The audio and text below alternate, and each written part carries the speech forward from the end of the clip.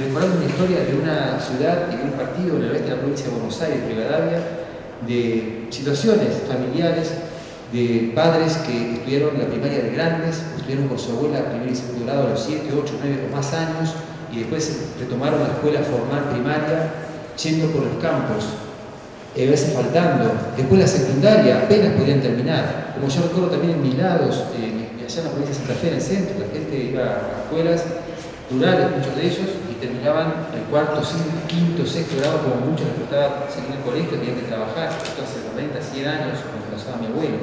Por ejemplo, después sí, los hijos de, estos abuelos, ya sean padres de la generación, pudieron estudiar la primaria, la secundaria y terciaria, sus profesorados, e intentar o terminar eh, una carrera universitaria, tal vez la licenciatura en las universidades nacionales. Y aquí viene el tema, la Universidad Nacional del Litoral, la Universidad Nacional del Rosario, la Universidad Nacional de Entre Ríos, que ya, por allá se hablaba mucho de ellas, y así de corrido, por eso es importante subrayar en este comienzo de los sinópticos el tema que nos convoca, que es el factor democratizador de las universidades nacionales.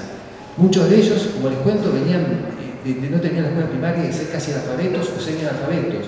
Y los hijos progresaron. Es casi como recordar la obra de teatro también de Florencio Sánchez, el cambio social, además de cultural y de educación, ¿no? que es el hijo doctor, de alguna manera. Eso marcó como una, una revolución, una revolución en la educación, en la manera de educarse, de conocer, de, acceder, de poder este, eh, acceder a distintas situaciones, de conocimiento, de conocimiento intelectual, de conocimiento táctil, de conocimiento gustativo, de conocimiento auditivo, en el caso de los que estudiaron alguna idea musical a partir de una intuición mínima. Esa es una beatización de las universidades, especialmente las nacionales, ni hablar de cómo fueron creciendo las universidades nacionales. A partir de un proceso de democratización que en la Argentina existió sin dudar a partir de mediados del siglo XIX, con alguna intencionalidad intelectual de la élites de 1837 la élite de la Asociación de Mayo y de un Sarmiento que era, que era contemporáneo de esa élite. Esa situación nos puede llevar a pensar que después vino la escritura, los textos de Educación Popular, el plan combinado de educación común de silvicultura, como dijo, de silvicultura y de eh, agrario industrial para el Estado de Buenos Aires. También podemos pensar qué pasó eh, con, cierta demonización que se puede hacer de la generación del 80 como negativa, pero pensemos en, un gran escritor, pensemos en Eduardo Wilde, en 1884 con la presidencia de Roca y la ley 1420. Ahí quedamos y a haber un nexo importante y recordar esa ley 1420 como un proceso democratizador de eh, educación gratuita, gradual y obligatoria y que puede ser obviamente universal. El factor democratizador de las universidades nacionales una expansión institucional del sistema. Y aquí viene la idea precisa además de hablar de poder ver los gráficos, y ver cuadro sinóptico. En América Latina, en toda América Latina, hubo tres factores demográficos claros. Eh, más, cada vez más eh, personas accedían a la, educación secundaria. Cada vez más había una mayor feminización de la matrícula porque mujeres que trabajaban en sus casas, que solamente estaban dedicadas a lo doméstico, empezaron a estudiar y en grandes cantidades.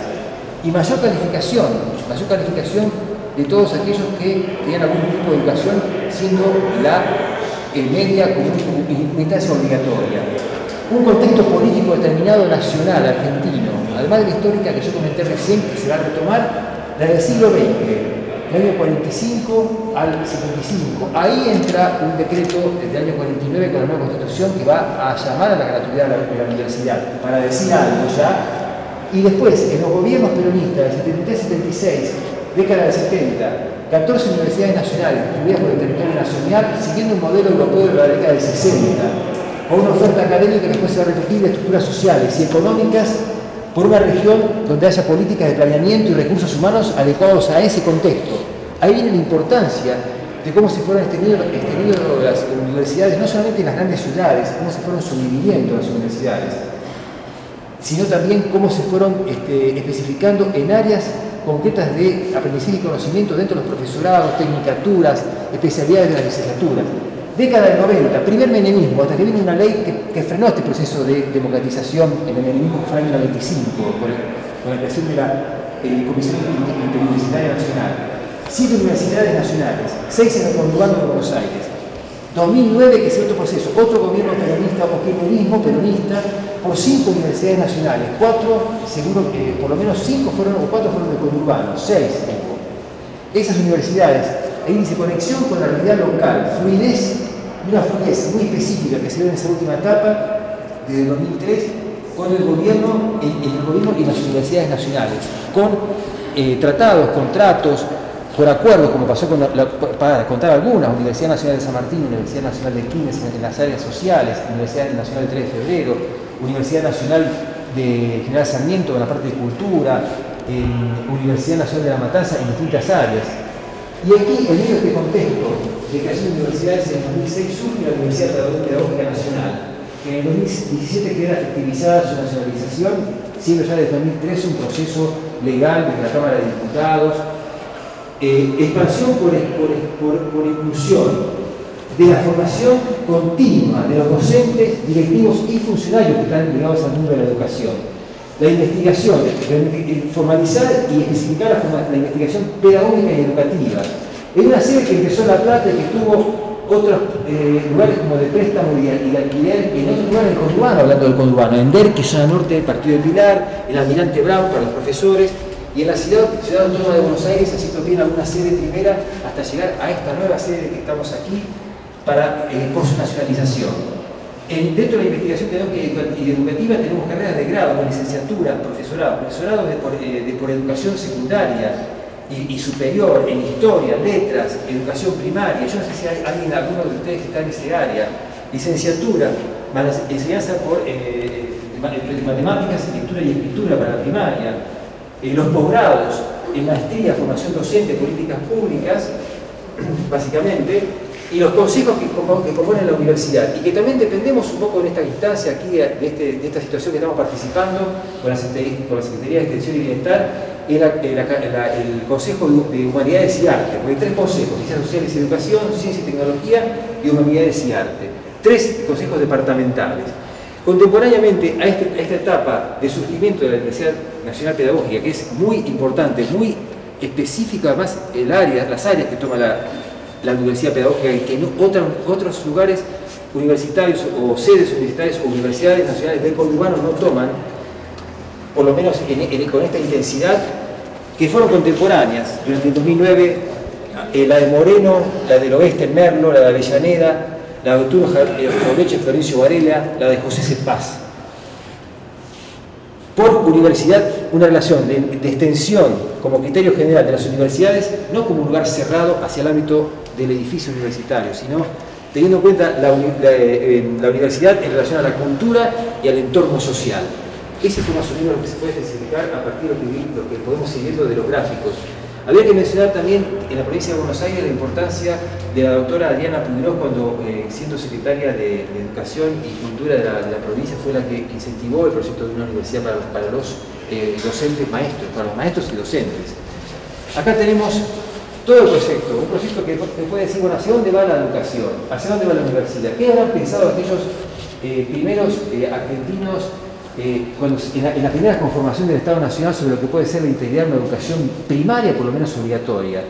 Leyendo Educación Popular de Sarmiento uno puede especificar que ni siquiera en Europa y Estados Unidos de Sarmiento había la educación suficiente, una educación suficiente, ahí se escucha más, una educación suficiente para todos los, este, eh, para todos los eh, había regiones más avanzadas donde había un proceso de industrialización mayor, en Inglaterra mismo, en Alemania mismo, Prusia era muy avanzado comparado con la Baja Sajonia o con Austria o, especificado en el libro. Intentemos comparar esto con América Latina o con Argentina o con Chile, que es donde escribe todas estas, ideas. Pensemos en cómo pasó esto después a la generación del 80, que es una generación que va a especificar más el crecimiento de la, de la, de la matrícula secundaria de la educación media, los ingenieros, pensemos en la época de los ingenieros de Wilde, y después las universidades. Solamente a principios del siglo XX había en Argentina tres universidades, la de Córdoba, la de Buenos Aires, la de La Plata, básicamente, y después vino el siglo XX la del litoral. Cuando aparece el primer gobierno peronista había dos universidades más después de las que la Universidad de Cuyo y la Universidad de Tucumán. Y paremos de contar, imagínense de seis universidades. Y aquí hay como una doble faz. En esta obra que es la relación que, que yo busco, que busco para, para, para, que vean. Está la ley 1420, la primera página, eh, la ley de, reglamentación de educación común. Y atrás está el de que es la 1420 justamente, y atrás está el documento, el texto, decreto 29337 del 22 de noviembre de 1949, que es como la contracara. Yo acá puse, puse una hoja como la contra, eh, como una moneda, cara y cara y seca, cara y contra cara, de un proceso eh, que si bien tiene que ver en un con la educación primaria, se relaciona con la universidad en cuanto a las posibilidades de acceso eh, de la ciudadanía, de la población, de acceso de las clases medias trabajadoras, de las clases medias que unieron en la reforma del 1918 a argumentar la necesidad urbana de, las ciudades, de ese urbanismo que ya iba creciendo de una manera bastante secular y avanzada en Argentina, de inmigrantes, poder acceder a la, universidad con un esfuerzo. Pero con esta ley se accedían otras clases, clases, clases de inmigrantes, de trabajadores que venían a ocupar puestos de trabajo en las grandes ciudades, en, los sectores industriales. Entonces, ¿cuál podría ser la gran solución para seguir un gráfico especificado aquí, ¿no? En vivo, ¿no? ¿Cómo, cómo es esto? Vamos a ponerlo acá. Tenemos un lado del inicio.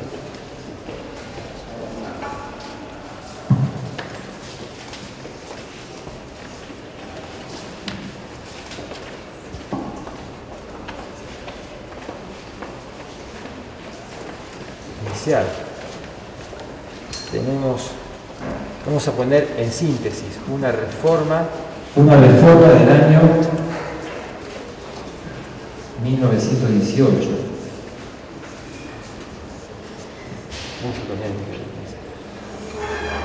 Vamos a tener acá, vamos a poner acá. Los mentores de esto. Nombres que uno piensa que es una localidad, Vamos a poner acá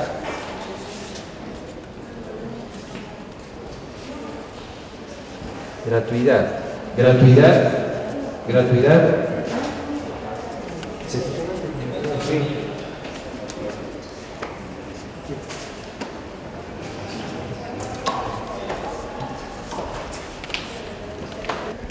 Eh, aprovecho a contarles a que están recién llegando que estamos eh, en la primera, elaboración del ciclo cuadros sinópticos.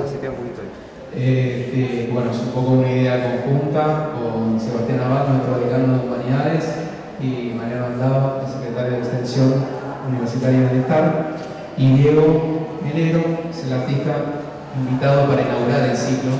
Un ciclo que se llama Cuadros Sinópticos justamente porque trata de pensar en esos cuadros que hacemos para organizar eh, el despliegue de una idea, como, como, hemos conversado con Esteban también implica mucho esfuerzo hasta que uno llega a ese instante en el cual se nos arma ese cuadro, ¿no? Exacto. ¿Y qué hace un docente cuando arma un cuadro? Está dibujando, ¿no? Hay una dimensión también artística eh, en ese momento que pasa a desapercibir inadvertida y sin embargo sucede. Me parece que en el caso y en el momento en el cual está Diego ahora, se ve claramente que está pintando también un docente o un estudiante cuando de repente organiza lo que está escuchando en el papel. ¿no? Y, un poco la idea del ciclo es poder pensar estas herramientas pedagógicas bastante previas al PowerPoint, ¿no? Este, pero que no dejan de ser una tecnología y una herramienta pedagógica fundamental, sobre todo porque, no sé si conocen el, origen etimológico de la, palabra sinopsis, que viene justamente de, una, este, una visión que justamente busca los principios de las cosas. Entonces, de alguna forma, estos cuadros sinópticos tratan de reunir lo esencial este, y la jerarquía de ese orden, ¿no? Y de alguna forma presentan el cuerpo de la idea materializada en acción y en movimiento, ¿no? Que es un poco una de las ideas también de en términos de extensión, de tratar de movilizar. Eh, Seguimos. Esa era una de las, de las ideas eh, ciclo, así que bueno, agradecerles la presencia y continúa Diego en su pintada performance. Acá viene el gráfico justamente una síntesis de poder, digamos, de organización y, de, y, histórico en, largo, en, largos trazos. De 1849, el libro de educación común, común y popular y, y educación popular de Sarmiento, que era un plan eh, combinado para, eh, de, silvicultura y agrario industrial para el Estado de Buenos Aires, a la ley 1420 a la reforma universitaria y al decreto eh, 337 de Perón, que es la gratuidad universitaria. Entonces, a partir de eso, miren lo que va a pasar.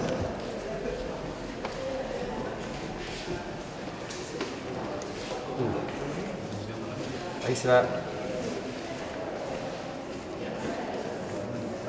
Ahí se va. Eh, Marco se va.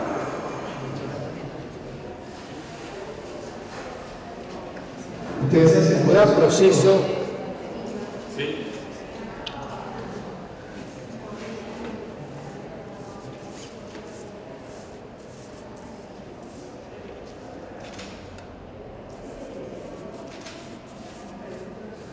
Un gran proceso de transformación social. Ese gran proyecto de transformación social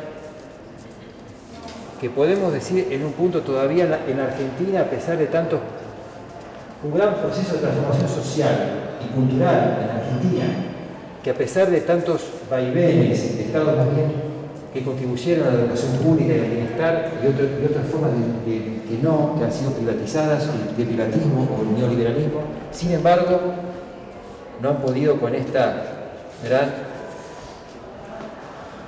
condición, comparativamente con América Latina, hacia adentro podemos ver Argentina, de ascenso social, todavía.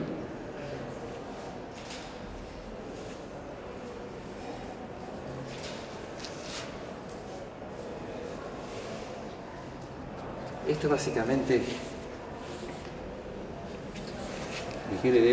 las flechas indican un recorrido, circular de la educación universitaria, de todos aquellos conceptos que hablamos recién.